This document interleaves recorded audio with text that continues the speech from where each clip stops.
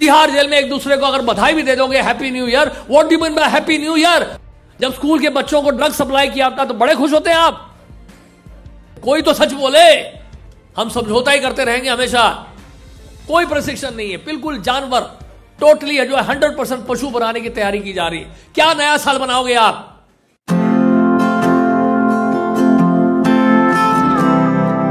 आधी रात को भूत पिशाच की तरह नाचना शराब पी के किसी नाइट क्लब में। This is happy new year बताइए हैप्पी न्यू ईयर तो वो होता है। प्रातः काल गौर पूर्णिमा के दिन गौराब्द कैलेंडर के अनुसार नव वर्ष हमारा गौर पूर्णिमा का दिन है। प्रातः काल उठे, ब्रह्म मुहूर्त के समय मंगल आरती में जाएँ, राधा पार सारथी का दर्शन करें।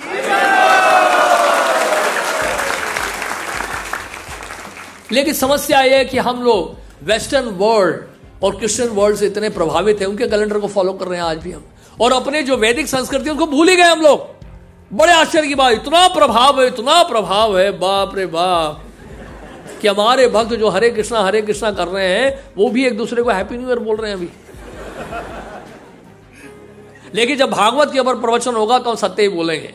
यहाँ पे किसी को खुश करने के लिए नहीं बोलने वाले। हैं यहाँ जो शास्त्र में जो लिखा वही बोले तो गौर पूर्णिमा गौराब्द का कैलेंडर जो है, वो दिन है हमारा नव वर्ष उस दिन क्यों नहीं बोलते हम लोग हैप्पी न्यू ईयर बताइए। क्यों नहीं बोल पाते हम? क्योंकि हमारे देव दिमाग को जो है धो दिया गया, धोया नहीं गया है कंटेमिनेट कर दिया गया है। और वास्तविक जो धर्म है, ये जो शास्त्र है, वैदिक शास्त्र है, उनको कभी पढ़ाया नहीं गया बचपन से। मूर्ख बनाया गया हमें बिल्कुल। बचपन से आज तक हम मूर्ख बनते रहे हैं। अगर हम श्रवण नहीं करेंगे, इन शास्त्रों को नहीं पढ़ेंगे तो वितरण भी हमने कर दिया तो लाभ नहीं मिलेगा। ग्रंथों का वितरण का लाभ तभी मिलता है जब स्वयं उसका हम अध्ययन कर रहे हो। यह कटु सत्य है। जो ग्रंथों का अध्ययन किए बिगाड़ ग्रंथ बांट रहे हैं, उनको उतना लाभ मिलेगा नहीं। क्योंकि प्रभुपा जी खुश नहीं होंगे। प्रभुपा जी कहते हैं, मैंने ये जो ग्रंथ लिखे हैं, अपने शिष्यों के लिए लिखे हैं यार भक्तों के लिए लिखे हैं। उनको पहले पढ़ना है प्रभुपा जी चाहते थे। हम कोई जो है, कोई प्रोडक्ट या सामान थोड़ा बेच रहे हैं, कोई कंप्यूटर थोड़ा बेच रहे हैं हम लोग। नहीं, लोग बोलते हैं, जी सड़क पे आप गीता बेच रहे हो। ज़ोर से थप्पड़ मारो उनको, खिंचा के। जब जो जो भी लोग बोलते हैं ऐसा, गीता बेच रहे हो, मूंगफली बेचे हम क्या बेचे आपके लिए? बेवकूफ़। लोगों को जो है बिल्कुल बिल्कुल अकल नहीं है। एक कलयुग है, बताइए। आप भगवत गीता बांट रहे हो, भागवत बटा रहे हो बांट रहे हो, इसके लिए प्रशंसा करनी चाहिए लोग सराहना करनी चाहिए कि कितना अच्छा कार्य कर रहे हैं। आज की युवा पीढ़ी जो है, धार्मिक कार्यों में लगी है, एक अच्छा जीवन बिता रही है, सभ्य बन रहे हैं लोग। सभ्य सुशील बन रहे हैं, आदर्श जीवन बिता रहे हैं। देख के खुशी होनी चाहिए, उल्टा दुखी हो रहे हैं लोग। ये शराब क्यों नहीं बेच रहा है? ये ड्रग्स क्यों नहीं बेच रहा है? जब स्कूल के बच्चों को ड्रग्स सप्लाई किया था तो बड़े खुश होते हैं आप। जब प्राइवेट स्कूल्स में गवर्नमेंट स्कूल्स में, या फिर आप जाओ पंजाब यूनिवर्सिटी में और कॉलेज हॉस्टल में जब विद्यार्थियों को ड्रग्स सप्लाई किया जाता है तो बड़े खुश होते हैं आप जब आपके बच्चे ड्रग्स पी रहे होते हैं, जो आध्यात्मिक जीवन में ही नहीं, भौतिक जीवन में भी बर्बाद हो गए। वो कहीं के नहीं रहे। क्या फ़ायदा बताइए ऐसे एजुकेशन का? इसलिए भेज रहे हैं स्कूल में कॉलेजेस में, बर्बाद करने के लिए, उनको ड्रग्स दिलाने के लिए, नशा करवाने के लिए प्रोनोग्राफी साइट में जाने के लिए। यह है मनुष्य जीवन हमारा। और ये है हैप्पी न्यू ईयर आज के युवा पीढ़ी जो है, उनको मार्गदर्शन देने वाला कोई है नहीं.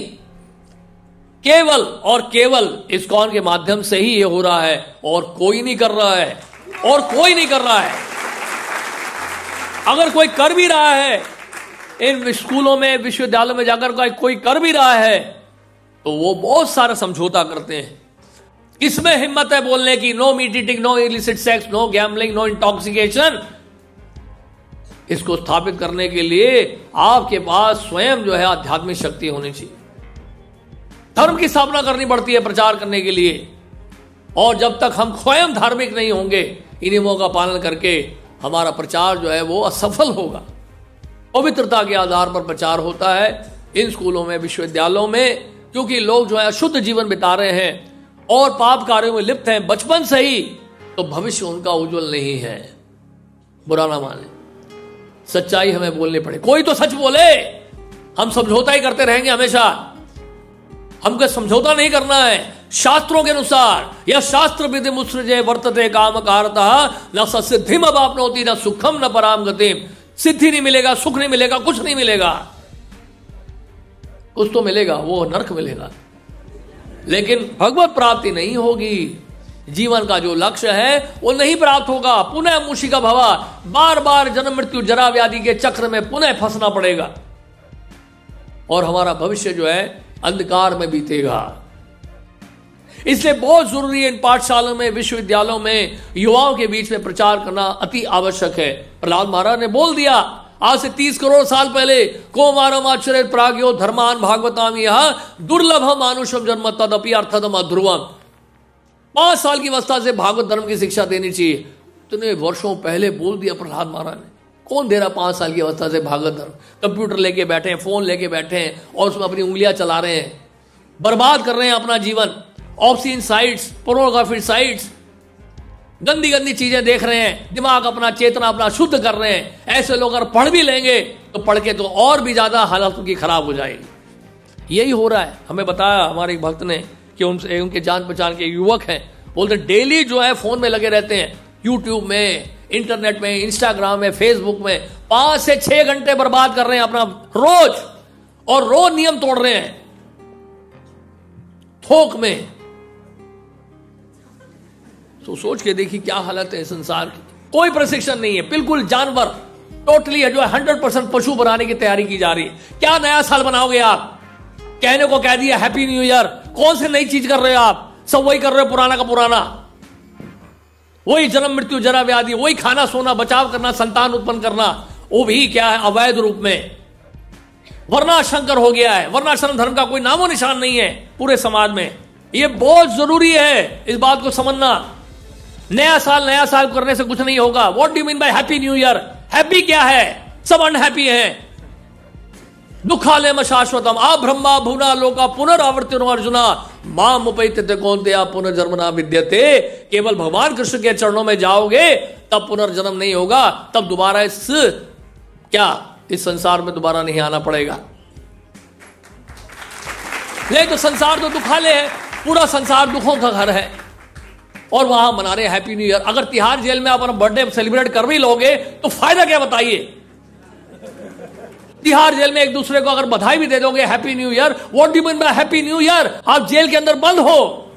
हैप्पी न्यू ईयर तो तब होगा जब आप कृष्ण भावना भावित होंगे और ठाकुर जी के पास भगवान कृष्ण की नित्य लीला में प्रवेश करेंगे। वो है हैप्पी न्यू ईयर बाकी कोई हैप्पी न्यू ईयर नहीं है। समय बर्बाद मत करो। फ़ोन पे लगे हुए हैं, सब लोग फ़ोन पे लगे हुए हैं। क्या है ये बताइए? पूरा बर्बाद कर दिया हमारे देश को। क्या बोला हरिदास ठाकुर ने? नामाचार्य हरिदास ठाकुर ने बोला कि खंड खंड कर दो मेरा शरीर, लेकिन मैं नाम नहीं छोड़ूँगा लेना। ये स्पिरिट होना चाहिए। यह है न्यू ईयर रेजोल्यूशन 2023